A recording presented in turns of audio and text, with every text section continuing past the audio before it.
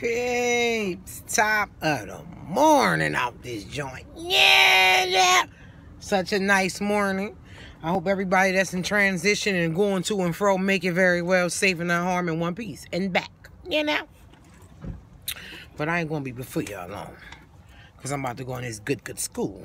My little son being, you know, recognized for trying to bring his little stuff up in excellence. You know, little guy work hard sometimes. You gotta give him their recognition, and I appreciate that from the school. Y'all know. And um, but what I wanted to tell y'all was, you know, the old Shanae is going. I regret to inform people that the old Shanae is going.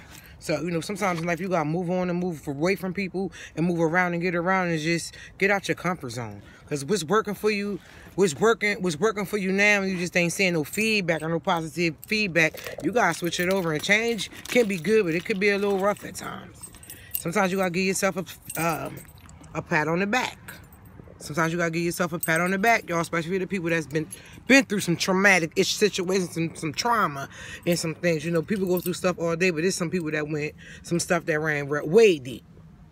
And um came out of shit. I mean, you gotta go see psychiatrists and therapists and depression and um all types of shit you probably had went through that people don't even know. So then you try to I tell people right there, now I changed my life.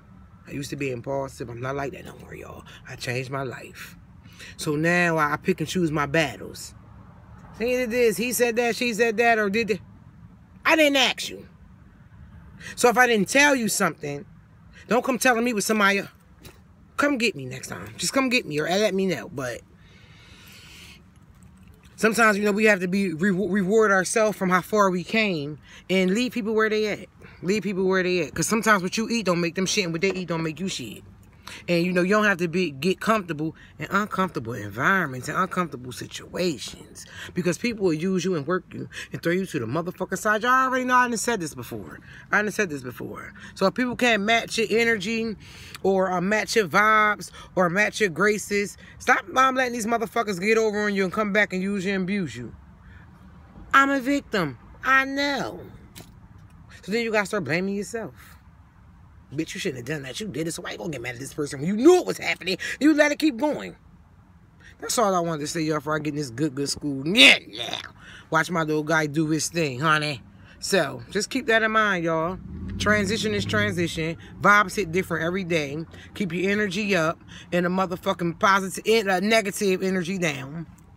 Soon as somebody pluck you, soon as somebody pluck you, y'all, just be mindful, because they'll fuck your whole day up. They going wrong about their day and you mad. Petty shit. Soon as they pluck you, pluck them the fuck back. Hmm. Little flake from that goddamn dry skin, y'all. Pluck them the fuck back.